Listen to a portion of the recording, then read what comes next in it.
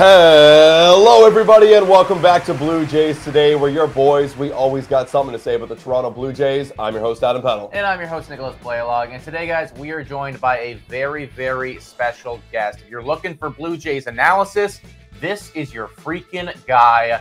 Welcome in, Ben Nicholson Smith. Let's go. Welcome in, Ben. Hey, guys. Thank you for that intro. Thanks for having me on. It's good to be talking with you.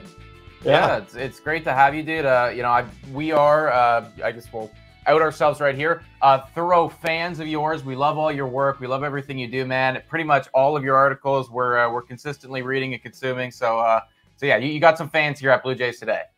Appreciate that. Pretty much all. I like how that leaves a little room for you guys to skim over some of the less important ones. Uh, I appreciate that for sure. No, man. I mean, uh, we've definitely clipped a lot of your tweets as well. So all of our audience, like they know you very well from a ton of our content. So it's good to awesome. put uh, the tweets and get the person instead of the tweets. So we're, we're excited to hear your thoughts, man. Yeah, hundred percent. It's uh, it's an interesting time for the Jays and for for MLB, obviously, with things starting up in a week. So yeah, let's get into it. Yeah. It. Uh, well, we do want to talk, obviously, majority about the Toronto Blue Jays, but um, I mean, I feel like you, we just got to bring this up, dude. Uh, Shohei Ohtani is, is, currently in the news, and uh, and I mean he's always in the news, but this isn't necessarily the the best light uh, that's that's going on right now. Um, very complicated stuff. I don't want to break down everything that's happening because even I don't fully understand, and I feel like I'm going to embarrass myself if I try. But uh, folks, if you're listening or watching this, go read some articles on it. It's a lot.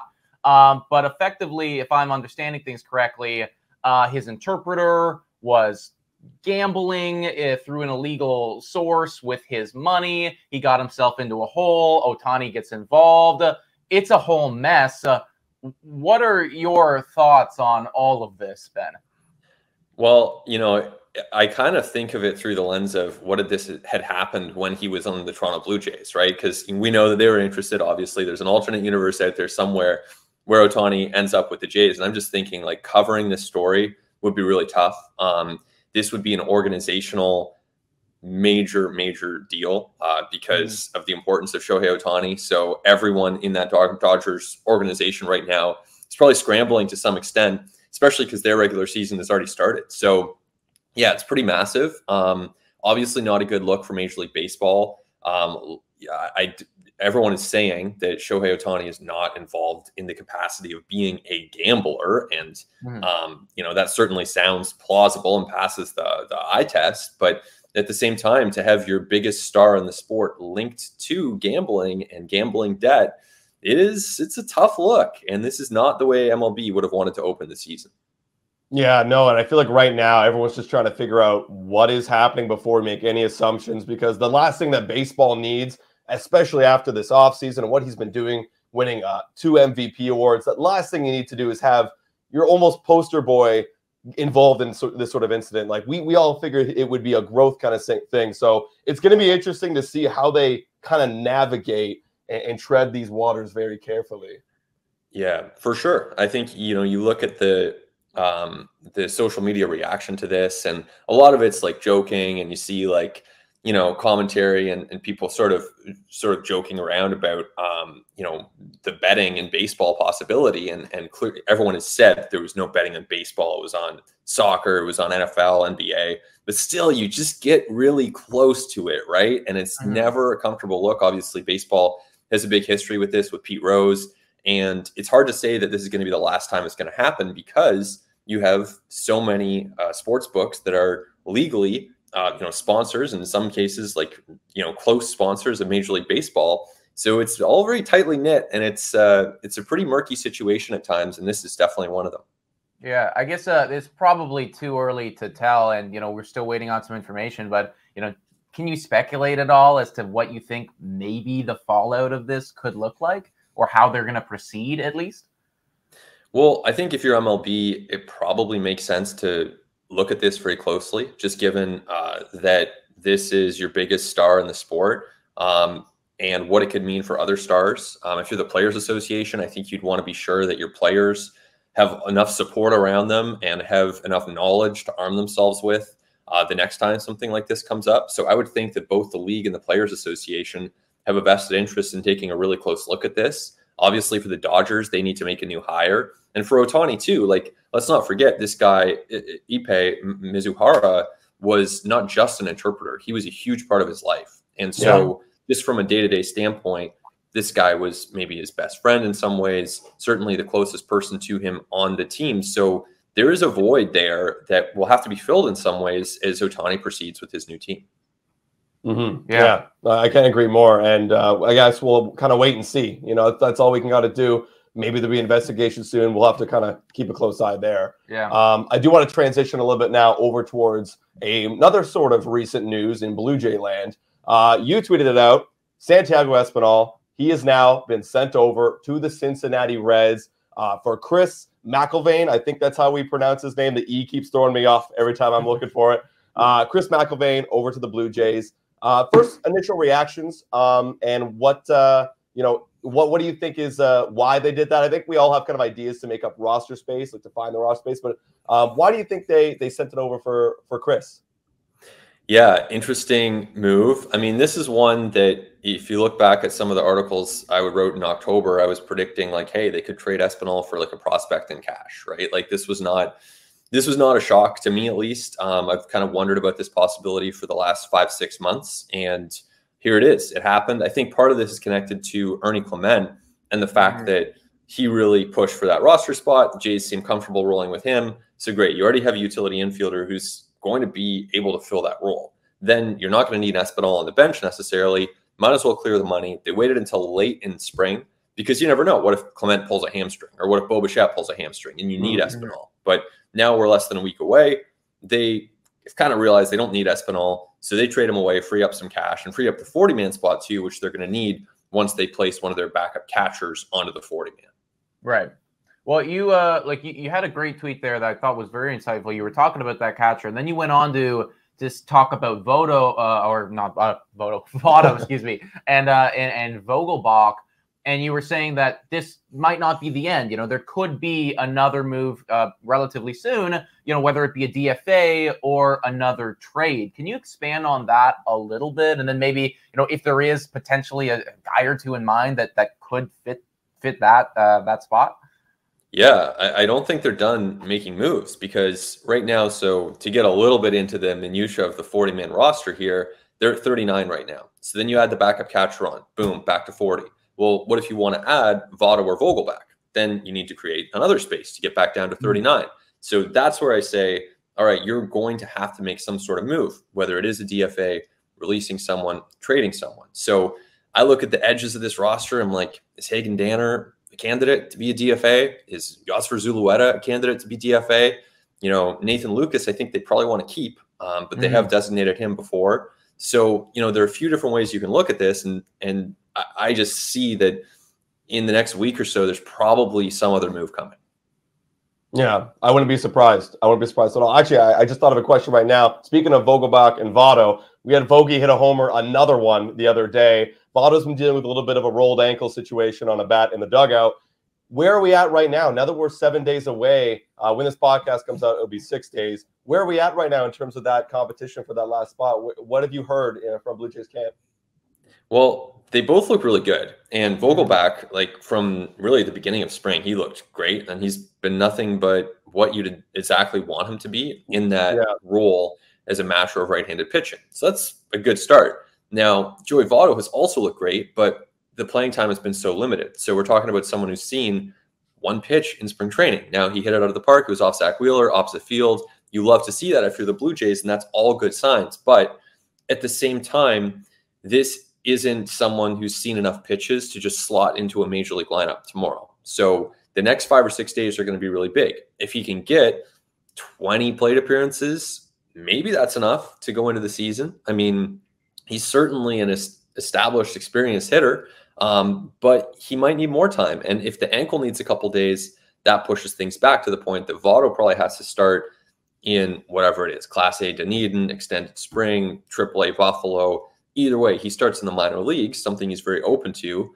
Or, and in that scenario, maybe you do take Vogelbach and maybe you are, you know, clicking in that $2 million that the Vogelbach would make at the major league level, start adding onto the payroll, and that might connect to the Espinal decision to trade him and free up a little bit of money. Yeah, I mean, well, it, it's a good problem to have. Like, I, I guess I keep coming back to the fact that it's like, you know, you bring in Joey Votto. I, I find it so hard to believe that this guy, you know, could be in the minors for the Toronto Blue Jays, just considering like his entire track record and his career. But even if he is, and he is open to doing that, I mean, that's a great situation to be in. Yeah, my my, my thoughts are almost like, uh, how long can you keep Joey Votto in the minors? Like, what That's if you bring up Daniel Vogelbach and he starts to do really well? Well, now you do you feel inclined to call up Joey Votto just because we all know it's Joey Votto, we love him. Yeah. Uh, what what could that be a reality where we stash Joey Votto in AAA? It sounds crazy to say. I think once Votto's ready, there will somehow it's just going to work out. Somehow he'll he'll be in the major leagues. Um, He looks really good. We all know he's a legend. Um, I just think he's going to get the chance to play himself off this team at the major league level. Now he might not do that. He might show that he belongs on this team and end up having an 800 OPS or whatever the case. That would be an awesome story. But I think he gets the chance to play himself off it, and so that might mean you know because it, because it gets clunky, right? You're right. You have Vogelbach, you have Turner, you have Vladdy, you have potentially Votto. You have a lot of players that play maybe one, maybe two positions. They're getting older in a lot of cases. They don't offer a lot of speed, so it's not the ideal roster configuration. Maybe that means someone's on the IL. You know, it could be Turner Mhm. pulls a hamstring, Vogelbach, you know, has a has some shoulder soreness, whatever the case, right? You find ways to make it work. Um, more often than not, these things do resolve themselves. But I just think when Votto's ready, they're going to find a spot for him. I just, I mean, I keep coming back to uh, the the highlight that's playing in my brain right now, which is Joey Votto on Canada Day mashes one out of the park, Oh. and all of MLB and Blue Jays fans are losing their mind. I just don't see a reality where the Toronto Blue Jays like don't allow that to happen. You know? Yeah, I, I agree. I think they will give him that chance. And look, maybe he goes out there in April, 830 OPS, May, 870 OPS, June, 570 OPS. He's a part-time player. He's on the bench on Canada Day. He's released by July 15th, right? Like there are Mm. all kinds of different scenarios out there. And by no means is it a guarantee that he has the kind of season um, that uh, that everyone would hope he would. But at the same time, as we get a little uh, cameo here, excuse me, guys. Yeah, I was but say um, uh, we got to give a little shout out. We had Yeah. uh, it's funny, we had a we had Chad Dallas on uh, just a, a day or two ago, and he brought his animal in as well. man. Uh, He- Connor, yeah, go. yeah, Yeah. Connor, Connor, the dog, Right. yeah. Well, I'm in good company. I don't throw as hard as Chad Dallas, but uh, that's that's good. So yeah, that's um, I, I think he'll get that chance. I think that we'll get the chance to see him, and and maybe it'll be an amazing story. Maybe he'll be released on May the twentieth, right? But Mhm. I think I think we're going to see him in the majors. yeah. One ahead. thing I, I wanted to pick your brain about, I guess, cycling back to the Espinal thing, and this is something that, that Adam and I were talking about off camera. Um, and it, it kind of surprised me a little bit that they did the Espinal move. And again, I, I think that Ernie Clement has earned himself a roster spot and, and all of that. And I want to see him on the team. He's played out of his skin this spring. But but are you concerned at all that he doesn't have any options? Like what happens if uh, you, you know Ernie Clement comes out and then in April you know what, what you're saying about Joey Votto. It's a it's a 570 OPS for Ernie Clement. It's not really working for him. Like, what do you do then? DFA, yeah, He's gone. I mean, Yeah. Yeah, that's fine. I, I think like at this point you don't want to DFA him because he's played really well. There's a lot of promise there. Um, I, I really believe, based on the conversations I've had with other people in the industry, that he would get claimed if the Blue Jays tried to pass him through Mhm. waivers for good Mhm. reason. Um, so I don't think now is the time to try to do that. But end of the day, you're talking about someone who's a bench player, and so you know, you cannot get too attached to these guys in a season where the stakes are this high.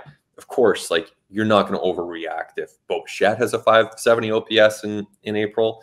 But if Ernie Clement does, and you really need that roster spot, and you have someone else in the minor leagues who's, you know, it's a Leo Jimenez or it's an Orelvis Martinez, even who's taking big strides and showing that they're a better option, at a certain point, you just got to be ready to make that change.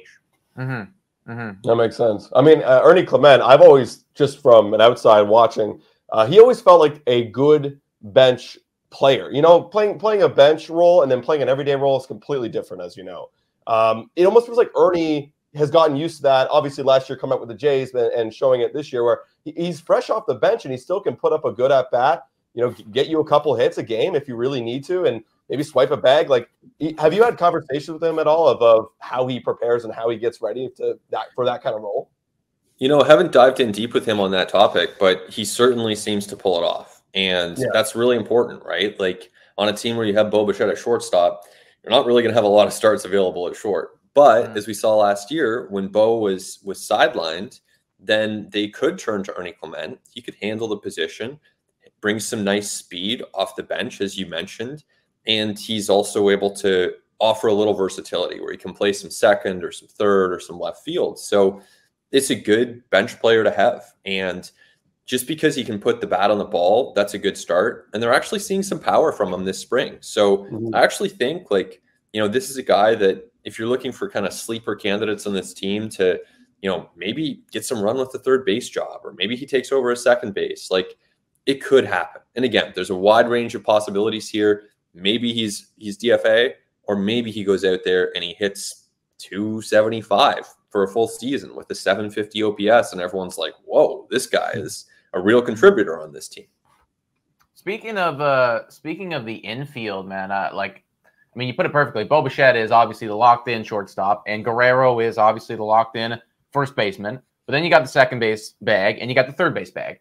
And you know, kind of a conversation all of spring, and I mean all off season really is like, who is going to be taking the reps there? What does that split look like? They go out, they pay IKF fifteen million dollars, probably a bit too much if you ask me, but that's another topic. Anyways, they go out, they get him.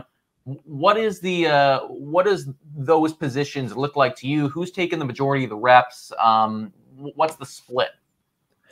Yeah, for now, I think IKF gets the chance to run with that everyday third base job. And mm-hmm. we'll see how he does with it. You know, defensively, probably fair to expect some really good uh, glove work at third base offensively, this is not a guy who has hit much in the major leagues over the course of a long period of time. So you're expecting a below average offensive player with the bat.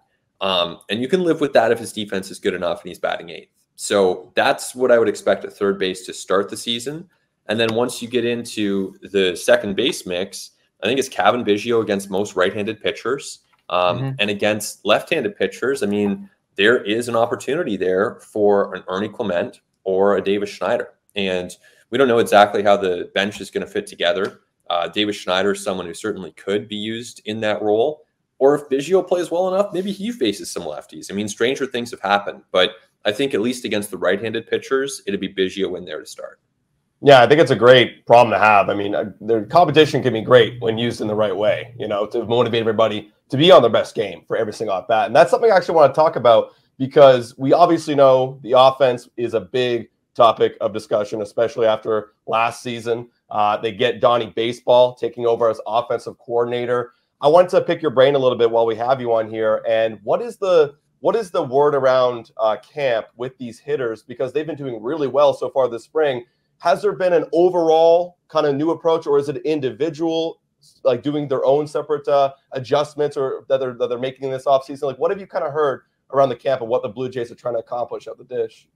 Yeah, my read from being down there and talking to a lot of the folks involved on the hitting side is that it really is highly individualized. And I think just, you know, having the chance to, you know, cover Don Mattingly a little bit last year as he was, uh, you know, first joining the Blue Jays, he's not like this authoritarian who's going to go in there and say, all right, guys, like I'm the offensive coordinator we're all out there trying to hit three run homers every pitch right now. Like right. for some guys, that's going to be the approach. For other guys, they're going to want to take it to the opposite field or they're going to want to hit it, you know, into the gaps. And if that's what works for those guys, I don't see Don Mattingly trying to overhaul it and trying to be this, um, you know, really domineering presence. So uh, I think it's up to the individual players, and what we've seen from those guys so far is honestly pretty promising. Like Dalton Varsho looked great down there.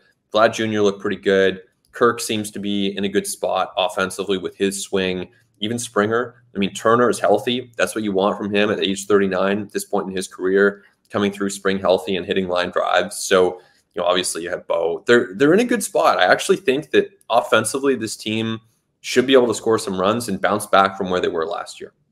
That's yeah. I mean, that's great to hear. Because the next question I was going to ask is, what is your your expectation for this offense? But I mean, you kind of answered it there, and I, I just I got to agree with you. Like watching these spring training at bats, and I know people are going to come and they're going to say, "Oh, spring training stats don't matter," which is you know true to an extent. But I mean, Vladimir Guerrero Jr. belted one for 113 miles per hour off the bat. You know, like that's a real thing that's happening right now. You know, Bo Bichette is is up there in the league lead in Grapefruit League for the most hard hit baseballs. That's a real thing mm. that's going on right now. And of course, they're all hitting for like a one OPS right now. I maybe I'm that guy where it's I'm overreacting to spring training stats, but it almost feels like, and especially with some of the injuries, uh, that walking into the season, I almost feel better about this offense right now than I do the pitching rotation. Is that crazy to say?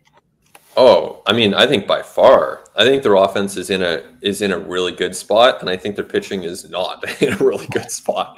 so yeah, when I look at that contrast, it's kind of funny, just given the way last year played out and how different it looks to be this year. But yeah, I, I think that the the pitching staff has some real, real questions. You know, Bowden Francis, great story. I think he's ready. Um, I think he's mm-hmm. going to be pretty good as a number four, but who knows, right? He hasn't done it. Like, there's still questions there. You can't just say he's going to be an automatic, you know, 4.25 ERA for 125 mm-hmm. innings. Like, that'd be great, but I just I don't think it's that simple. So he's a question mark. And then obviously with the number five spot, that's a question mark too. So, you know, as long as Gausman looks like he'll probably miss a start or two, that's not the end of the world, it's also not ideal. And Manoah's, you know, timeline is is very uncertain right now, uh, seemingly at least a month away from being able to contribute as a fully stretched out major league starting pitcher. So you have real, real questions there. And that to me is not to mention the bullpen. So that to me is mm-hmm. where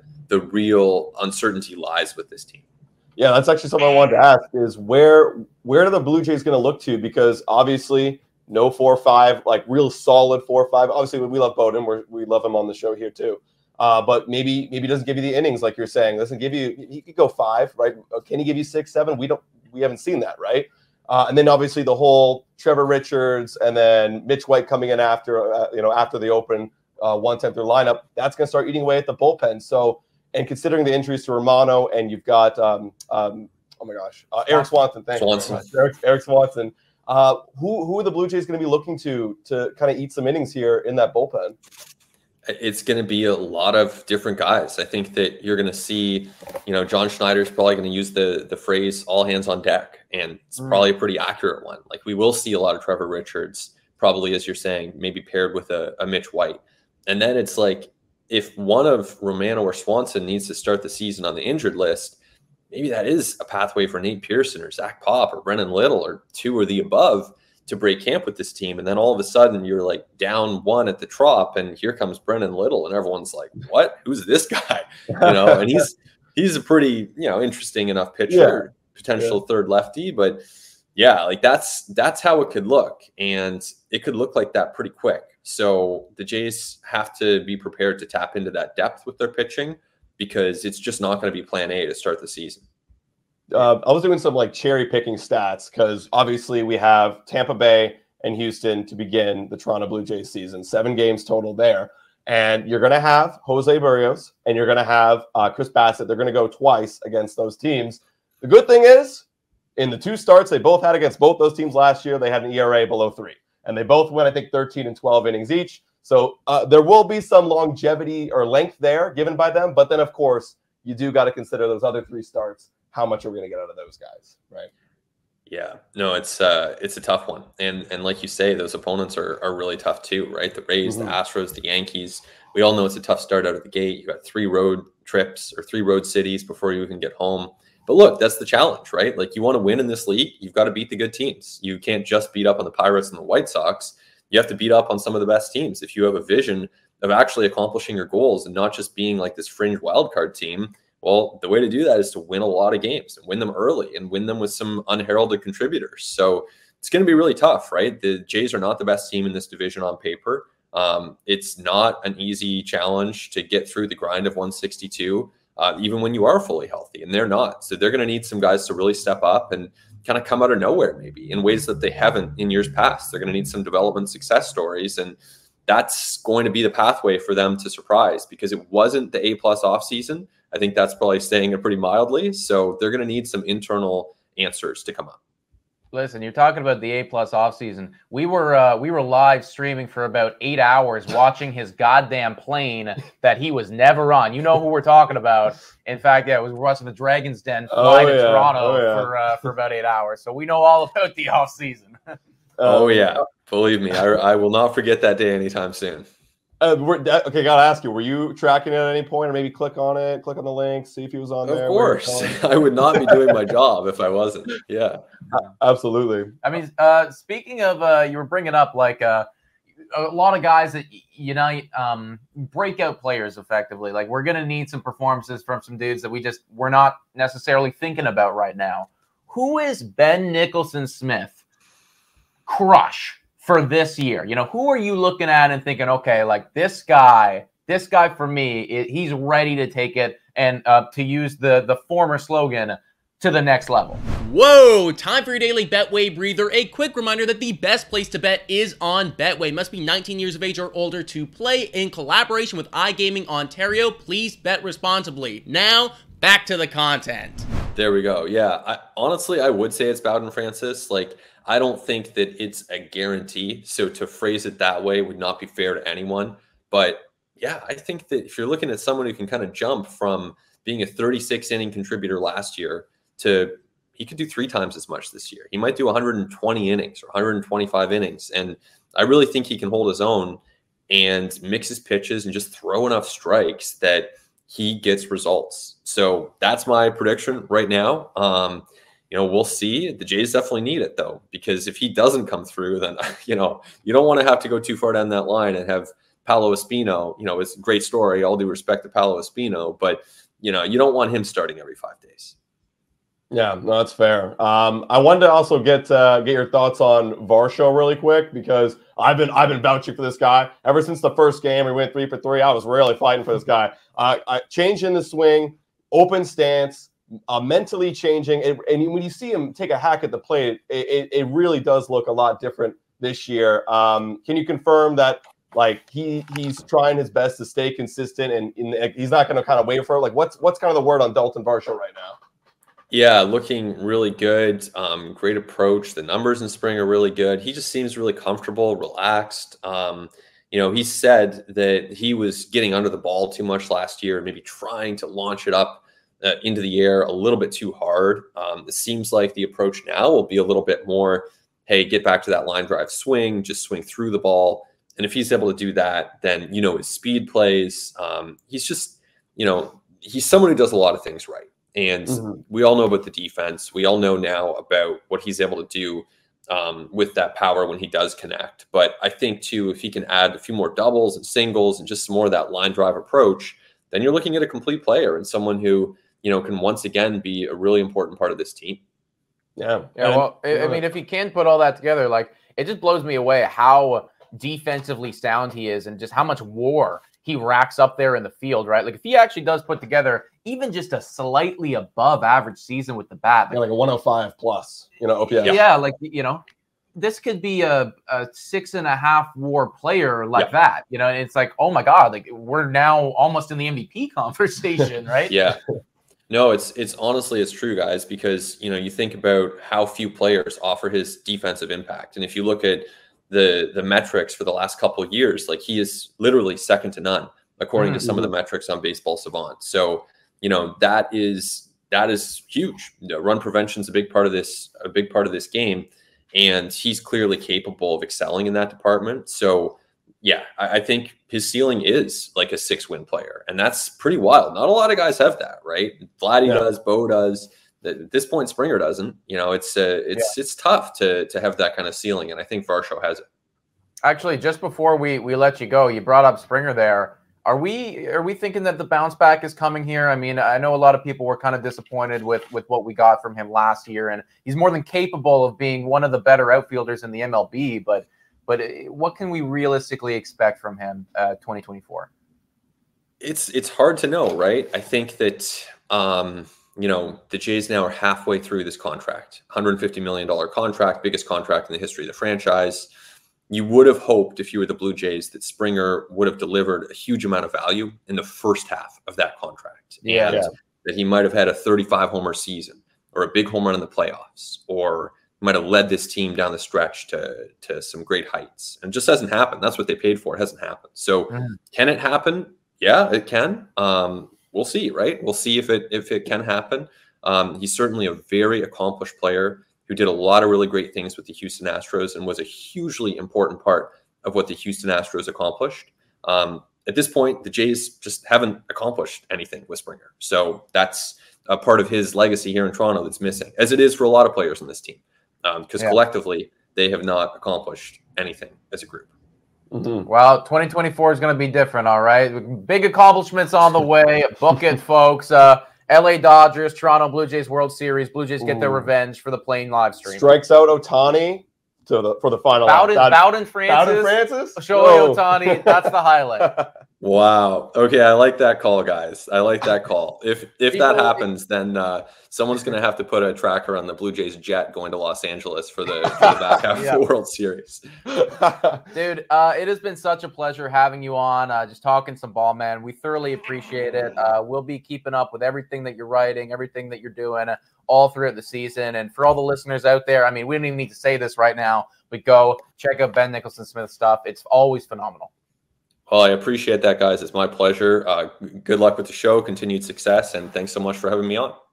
Thank you, Ben. Well, there you have it, folks. There is Ben Nicholson Smith, kind of a breakdown as to what's been going on recently, the Espinal trade, and then what we can look for this upcoming season. Bowden Francis, I am on the goddamn hype train. Mm. Nobody can take me off. Absolutely. Guys, let us know your thoughts in the comments down below about everything that we talked about. $3 a month to become a Patreon member. And shout out and thank you to all of our current Patreon members and to our YouTube members as well. You guys are fantastic. Thank you so much for watching. And go, Jays, go!